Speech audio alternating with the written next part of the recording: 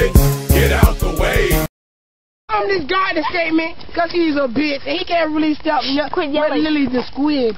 I'ma steal one of his real hard rhymes. I'ma say oink oink is a pig, not frown. Wow. Then? Then. Then. No.